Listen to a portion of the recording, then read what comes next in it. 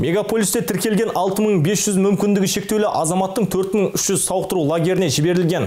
Ал қалғаны жыл соңына дейін қамтылады деп жоспарлануда. Бір өкініштісі, заң бойынша жылына бір рет баруға тиіс азаматтардың жыл басынан бері екі рет шипажайға барып, ем қабылдағаны анықталған. Аталған мәселе Нұр Отан партиясы Шымкент қалалық филиалында өткен басқосуда талқыланды.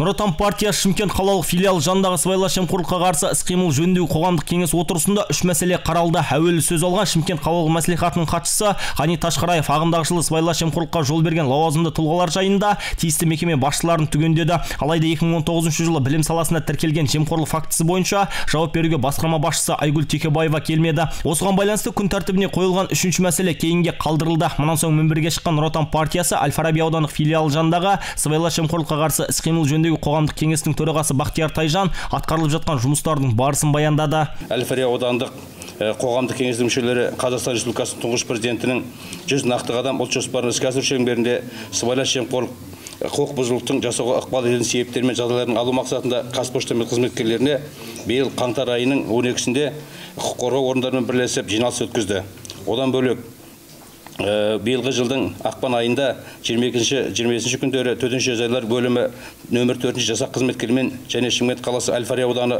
қоғамдық денсаулық сақтау басқармасындағы мемлекеттік мекемелерде бірлесе отырып мемлекеттік қызметкерлердің арасында сыбайлас жемқорлықтың алдын алу тақырыбында тақырып барысында мәжіліс дөңгелек үстелдер ұйымдастырды. Қаңтар айының 18 күні нұр отан партиясы әл фараби аудандық филиалының 2018 жылы атқарған жұмыстары туралы жиналысы өткізілді. Қоғамдық кеңес төрағасы болып шамамен екі ай бұрын тағайындалған Бақтияр Тайжан осылайша статистикалық мәліметтерге емес жалпылама баяндама жасады. Алайда алдағы уақытта толықтай өз бақылауына алатынын атап өтті. Сонымен қатар жыл басынан бері жұмыспен қамту және әлеуметтік қорғау басқармасына денсаулық сақтау мәселесі бойынша 500-ден астам әлеуметтік қорғау 2000 тұрғын үй бойынша 400-дей жалпы айтқанда мұң мұқтажын айтқан азаматтардың саны 5500-ге жуықтапты. Шымкент қаласының жұмыспен қамту және әлеуметтік басқармасы Қазақстан Республикасының 2015 2025 жылдарға арналған сыбайлас жемқорлыққа қарсы стратегиясын іске асыру жөніндегі 2019-2020 жылдарға арналған іс-шара жоспары туралы бірлескен жоспарын бекітті. Және сыбайлас жемқорлыққа тәуекеліне ішкі талдау жүргізу туралы бұйрықтарын бәрін шығардық. Осыған орай басқармада және басқармаға тиісті мекемелер коммуналдық мекемелерімізде сыбайлас жемқорлықтың алдын алу үшін сегіз мәжіліс алты іс шара он бір дөңгелек столдар сонымен қатар төрт аудан әкімдіктерімен біргелесіп он алты рет халыққа түсіндіру жұмыстары жасалды.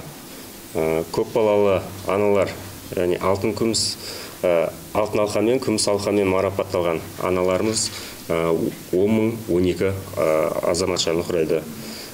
Сол кісілерге ұлы отан соғысы ардагерлеріне және тыл зейнеткерлеріне бізден бес мың тоғыз жүз тоқсан жеті өтініштері келіп түсіп оның екі мың төрт жүз елу бесі қанағаттандырылды. Және оларға емдеу сауықтыру шипажайларына жолдамалар берілді.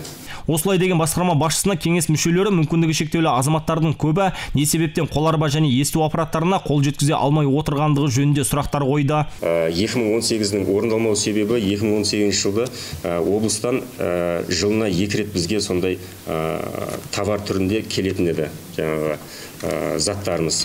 Ал түркістан екеуі мен шымкент қаласы бөлінгеннен кейін бірінші жарты жылдықтағы келетін товарлар келді да ал екінші жарты жылдықта келетін товарларды біз аламадық.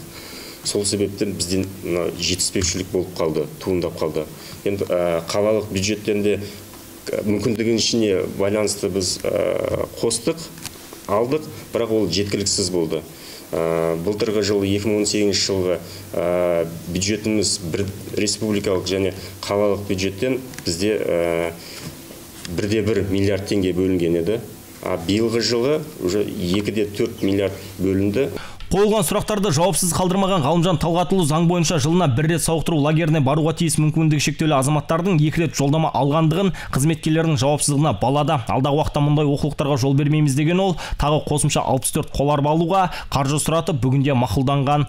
Мақсат тоқсанбай ақжол рахманқұлов айға қоғамдық телеарнасының жаңалықтар қызметі.